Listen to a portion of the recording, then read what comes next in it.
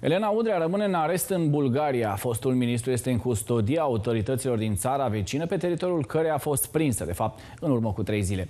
Cu mai multe informații însă despre acest subiect vine colega mea, Maria Băurceanu. Maria, bună seara! Până când va rămâne Elena Udrea în arest?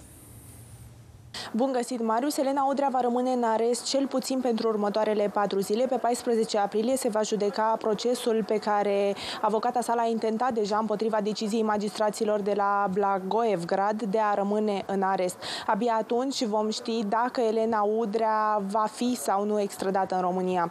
Tot ieri la instanță, prin avocat Elena Udrea ar fi depus o cerere de azil în Grecia și, conform aceleași surse, ar fi prezentat instanței o dovadă a închirierii unei case în Blagoevgrad pe o perioadă de șapte ani.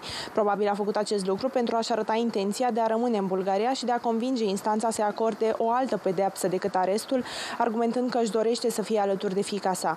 Vă reamintesc că Elena Udrea a fost reținută în Bulgaria în urmă cu trei zile, când a încercat să fugă din țară în urma condamnării pe care a primit-o de la înalta curte în dosarul Galabute. Aceasta ar trebui să execute șase ani de închisoare pentru trafic de influență și spălare de bani.